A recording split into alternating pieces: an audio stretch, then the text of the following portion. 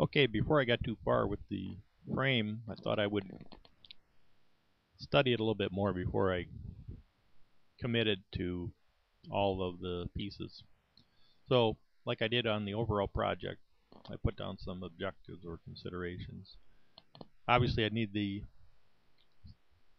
the frame to do a good job of sealing, keeping moisture out of the inside of the array area.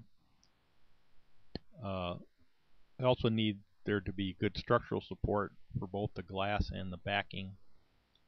And uh, the strategy is on this particular design, rather than going with the tempered glass, to go with uh, some regular home center glass, replacement glass, that's basically window glass, that's uh, clear glass, and have it sandwiched with the array and a stiffer backing material than you normally see on a uh, regular solar panel. So the backing material in my case is the same thickness as the glass, it's 330 seconds, and it would uh, allow the sandwich of the glass, the cells, and the backing to be stiff enough that it would structurally be as strong as tempered glass and hopefully resist breaking when uh, in any kind of hail situation. So that's kind of the strategy. The uh, next uh, consideration is the strength of the frame for mounting, either so it can freestand on its own or it can be mounted to a racking system or to a standalone rack. Ease of assembly and uh, cost. So let's look at some different design approaches. Now my first thought when I was going after this low cost was to buy some what's called quarter inch channel stock aluminum channel stock, which the quarter inch is really the dimensions inside the channel and it's designed to basically be used with a quarter inch plywood. And but my thought was, okay, I'll buy the channel and I'd put one layer of glass in there at 330 seconds. So these numbers are in three or in 30 seconds, and then uh, a layer of 330 seconds, either plexiglass, PVC, or fiberglass reinforced plastic backing. And then um, have the about a sixteenth of an inch for the uh, array itself inside. And I believe that's going to be good enough. And then I would take another channel piece and uh, basically either weld it or uh, epoxy it to the other channel. Now they do make uh, epoxy specifically for aluminum to aluminum and uh, that does that stuff works pretty good. So that would be the plan for this design. The next uh, approach would be very kind of similar but instead I'd use a three-quarter inch piece of uh, channel to encompass the upper quarter inch channel and uh, that would give obviously a, a pretty stiff upper uh, area for holding the array structure together. And it would give me another another dimension here to be able to put another bead of epoxy or excuse me of uh, silicone to seal up the glass to channel interface here. So that's kind of one advantage of this approach. And one of the next approaches is a similar thing but instead of the quarter inch channel I'd use the 3 8 inch channel material that's designed to hold 3 8 inch uh, thick uh, plywood and instead I'd put the glass, the backing, and then I have a much bigger area or volume here to work with for putting the, the cells in there. Now that's that's actually more area than a person needs, but if you, if you believe you need to have a little bit of air circulation, uh, this might be your preferred approach. And again, I'd use uh, either welding or uh, structural epoxy to hold the two channel pieces together. The next approach is, is kind of similar, but I, instead of putting the quarter inch channel above, I would have it below as a structural piece for improving the mounting strength below, and it would provide a stronger structural support for holding the array itself up so this provides a little bit better support for gravity for the, the weight of the, uh, the backing material and the, uh, the cells.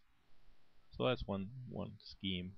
And then the next one is similar, but it's using a 3 8 inch channel below to provide the backing for the backing material, structural support for that, and much stronger structural integrity for the mounting uh, section itself.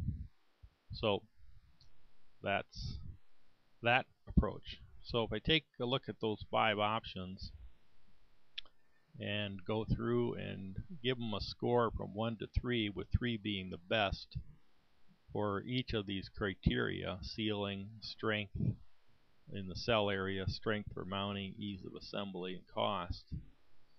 Uh,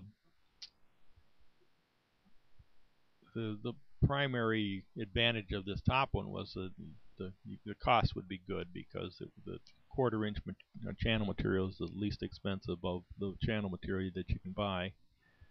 But it doesn't really do so good for strength, either uh, for the cell area or for mounting. It's a little bit uh, less easy to use for assembly because I'd have to put sandwich everything into the top channel and then I'd have to uh, make the lower channel mount match exactly with the upper channel as far as uh, all the dimensions of the aluminum. the uh, the second approach uh, had the advantage of giving me a, a, thicker interface between the channels and the glass to allow the seal to be superior on the top. For that one, and everything else was fairly neutral on that, no, no other redeeming attributes. The third option uh, didn't even give me as good of a seal as the first one, and but it did use a a quarter inch material, so the cost was a little bit. Uh, excuse me, the, it had it uses three quarter and three eighths material, so its it expense the cost goes up a little bit over the option two. And then um, the fourth option uh, did allow a little more strength. This is where we use the uh, quarter inch material on the lower section. Gave a little more strength below, but not as not as good of a as some of the other uh, options in the next one, which uses the 3 8 material on the bottom on with the three quarters exterior uh, around the perimeter, which allows me to have a stronger seal, a stronger strength for the cell area, because I'm using the stronger material below. It gives me double mounting strength, just like the one above it.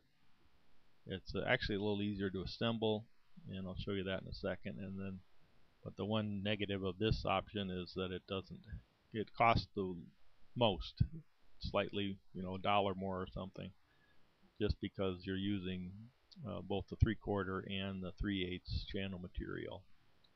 You add up these scores and and basically this last one comes out a little bit better. So that's the one we're going to go with. If I take a closer look at it, the uh, the plan would be to uh, I got my glass cut, which is uh, 26 by 36. I'll be able to lay a bead of silicone down on the channel itself uh, after the the uh, the channel pieces are together and lay the glass into that structure and clamp it down so I'll have a nice silicone seal between the glass and this channel and uh, addition will be able to add a bead of, of, of silicone at the end uh, between the glass and the channel material uh, when I get all through. So that's step one, putting adhering the glass to the channel.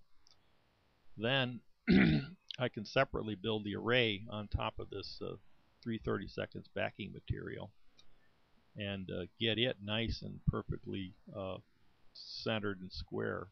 And then I can actually, on the bench, silicone that to the, the top of the 3 8 channel material.